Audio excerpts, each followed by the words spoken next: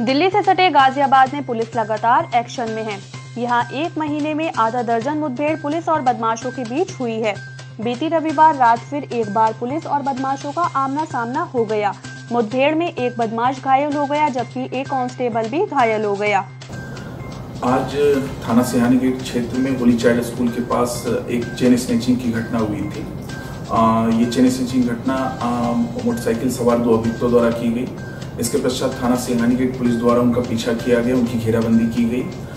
इस घेराबंदी में लोहिया नगर औद्योगिक क्षेत्र के पास क्रॉस फायरिंग की घटना हुई, पुलिस और अभियुक्तों के बीच। इस क्रॉस फायरिंग की घटना में एक अभियुक्त के पैर में गोली लगी है, साथ ही एक कांस्टेबल भी घायल हुआ है। दोनों को उपचार हेतु तो कैलाश हॉस्पिटल में एडमिट किया गया है। पूछताछ में उसका नाम अजय बताया जा रहा है, जिसके विरुद्ध लगभग डेढ़ दर्जन से अधिक मुकदमे हैं। कोतवाली, सिहानी गेट और कविनगर क्षेत्रों में इनके विरुद्ध मुकदमे हैं। आ, उसका दूसरा साथी मौके से फरार हो गया है।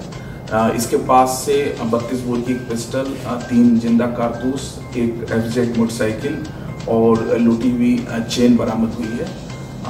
अभी इसके साथी की तलाश की जा रही है। इसे गिरफ़्तार किया गया है और मुकदमा पंजीकृत किया जा रहा है।